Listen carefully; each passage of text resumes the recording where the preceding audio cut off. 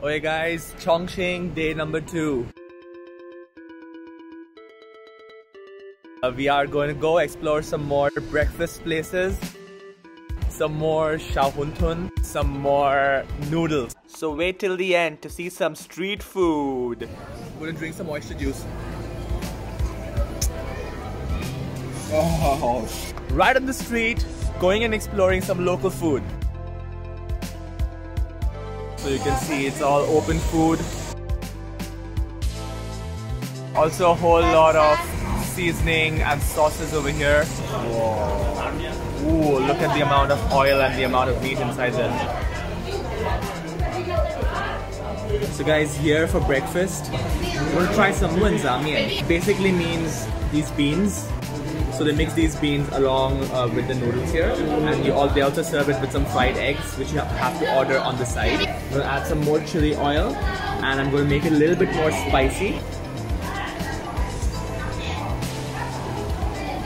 Gonna need some egg as well. I like it how the noodles is soggy, but it still has a consistency. You can feel some some green vegetables, some minced meat, um, some chili oil which I added. So yeah, all in all, it's a good breakfast.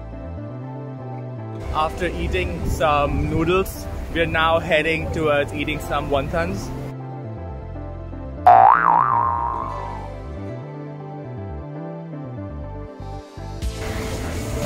Alright guys, so we are at the Xiaohuntun place. You see a lot of guys freshly preparing some dumplings here.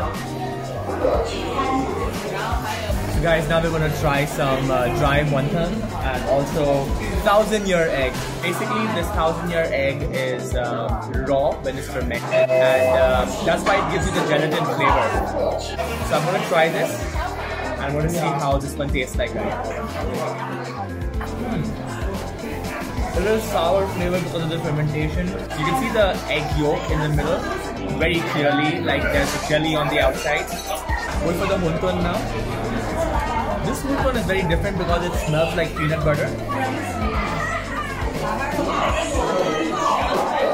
It is spicy, also sweet, also savory a bomb of different kinds of flavor in the mouth. A little bit of peanut butter for the sweetness. Definitely worth its price. So after having a, a really good and heavy breakfast, we're coming here for some coffee.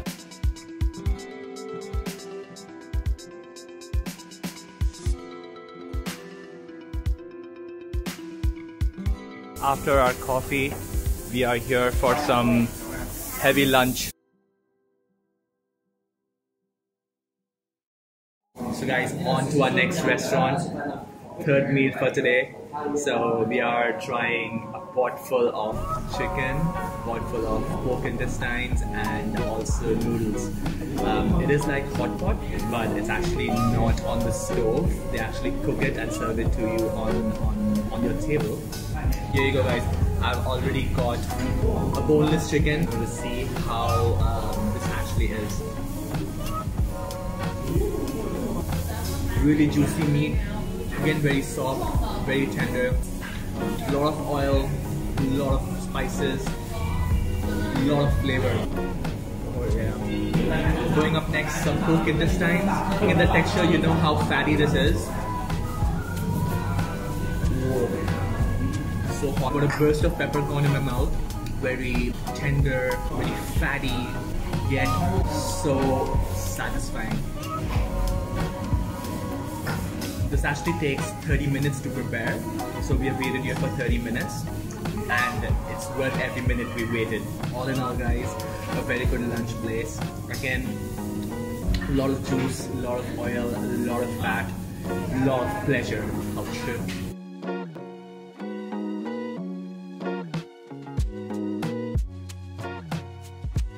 This actually looks so cool because it feels like I'm sitting on a roller coaster. So there's a metro right inside a live building. This is a residential building and also a metro station. At least this is my first time that I have seen a metro station inside a residential building.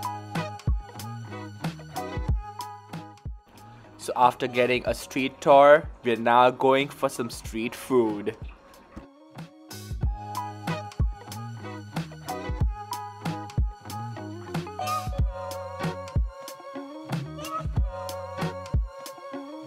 We've just got the pork naan. I can say it's called bing over here, but it's a different kind of bing. It's more thicker. I'm gonna try this.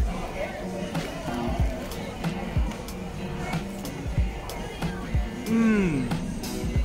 So crunchy, also soft and crunchy at the same time. Oh, I can say it's more of bread, not more of minced pork.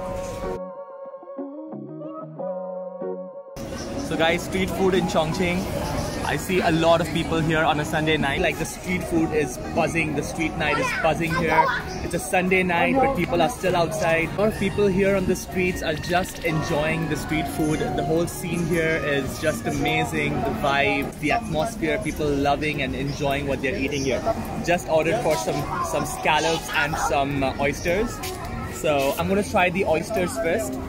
Here you go guys oysters, I can see that there's a, there's some scallion, also a little bit of chili flakes on top.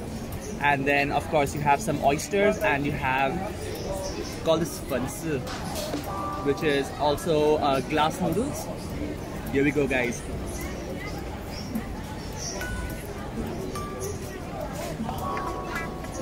Oh yeah, a healthy taste of garlic.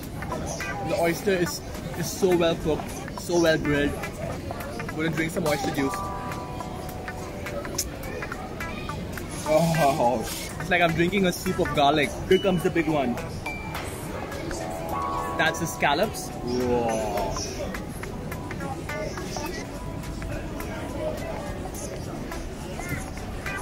A lot of garlic, a lot of oil, a lot of pleasure.